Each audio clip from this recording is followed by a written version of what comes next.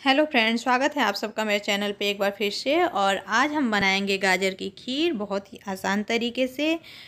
तो चलिए देख लेते हैं फटाफट से गाजर की खीर की रेसिपी, कैसे बनाना है इसे। तो खीर बनाने के लिए मैंने रख दिया है दूध बॉयल होने के लिए, ताकि खीर अच्छी लगे किसी भी खीर में। दूध जब अच्छे से पक जाता है, तभी खीर का टेस्ट बढ़िया आता है। और तब तक मैं गाजर को साफ़ कर ली हूँ छिलके और धो के और अब मैं इसे काट रही हूँ बारीक बारीक। तो अब हमारा गाजर भी लगभग कट चुका है। तो गाजर काटने के बाद हम इसे पीस लेंगे ग्राइंडर के जार में। तो अब मैं ले ली हूँ जार को। अब मैं इसमें डाल दूँगी गाजर को और गाजर के साथ ही पड़ेंगे यहाँ पे कुछ और ड्राई फ्रूट्स दिखा देती हूँ। बीच बीच में दूध को मैं चला ले रही हूँ ताकि दूध नीचे से पकड़े ना, दूध पकड़ लेता है, फिर स्वाद अच्छा नहीं आता है। और ये है नारियल के कुछ टुकड़े, सूखा नारियल है थोड़े सा काजू, थोड़े बादाम और इन सबको मैं साथ ही में पीस लूँगी गाजर के, ताकि खीर हमारी गाढ़ी गाढ़ी सी बने और टेस्ट भी थोड़ा बढ़िया है और इसमें आप एक चीज़ और डाल सकते हैं, इलायची पाउडर या खड़ा इलायची को भी कूट के डाल सकते हैं, यहाँ पे मैंने नहीं डाला है। तो बस गाजर पीस चुकी है यहाँ पे तो मैं इसे डाल दूँगी दूध में और अब चलाते रहना है दूध को, जब तक से दूध में उबालना आ जाए तब तक। तो देखिए, चलाते चलाते इसे हम उबाल लेंगे अच्छे से। जो मिक्सर के जार में थोड़ा सा लगा रह गया था गाजर, उसे भी मैं निकाल के डाल दे रही हूँ और फिर मैं चलाऊँगी इसे उबाल आने तक।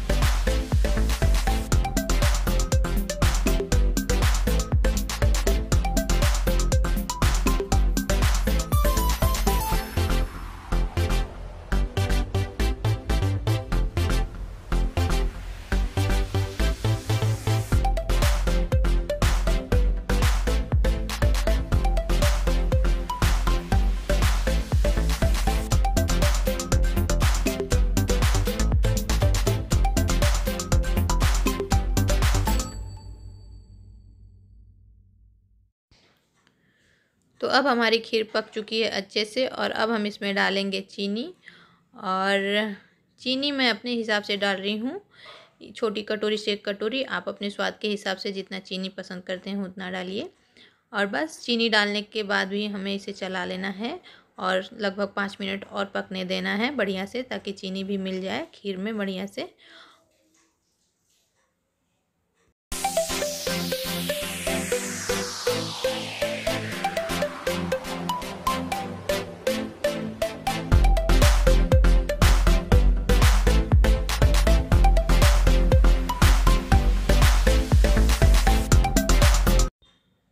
तो जब हमारी खीर पक गई है एकदम अच्छे से, तब मैं इसमें डाल रही हूँ किशमिश किशमिश को पहले मैं नहीं डाली इसलिए, ताकि दूध फट न जाए।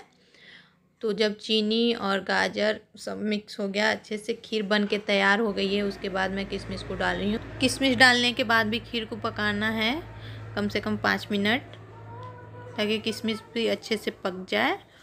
और बस तो देखिए हमारी खीर तैयार हो चुकी है और उम्मीद है आप लोगों को मेरी ये खीर की रेसिपी पसंद आई होगी। पसंद आई है तो वीडियो को लाइक कर दीजिए चैनल को सब्सक्राइब कर दीजिए और खीर को थोड़ी देर ठंडा होने दीजिए। उसके बाद खाइए। देखिए ठंडी होने के बाद खीर हमारी कितनी अच्छी लग रही है और खाने में देखने से ज़्यादा स्वादिष्ट लग रही थी। तो मिलती हूँ अगले वीडियो में। बाय